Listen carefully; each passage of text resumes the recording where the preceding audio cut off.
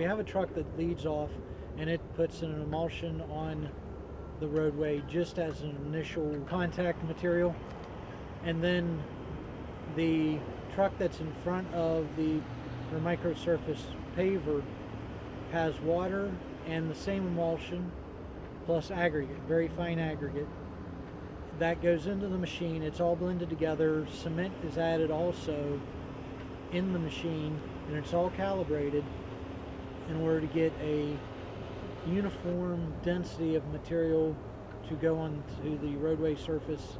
The purpose behind microsurface is that it allows us to seal a road to help preserve it from having water, salt, contaminants like that penetrate into the asphalt. So this is the first application we've had in the state where we're doing a full roadway width uh, from shoulder to shoulder. And so that's what makes this project so unique right now.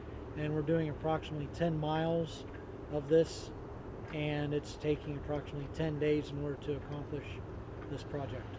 The application rate, it's a lot faster than asphalt, which means we can get more roads done. I'm expecting a three to five year return on this. Um, if it works, I would love to see it go even farther. It's because of the amount of dollars that it takes to build a road.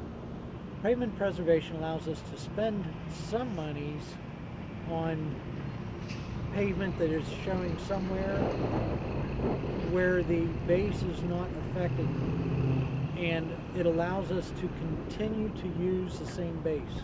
So it's better to spend a little bit of money for a long-term return than it is to spend a lot of money because you've let it go too far.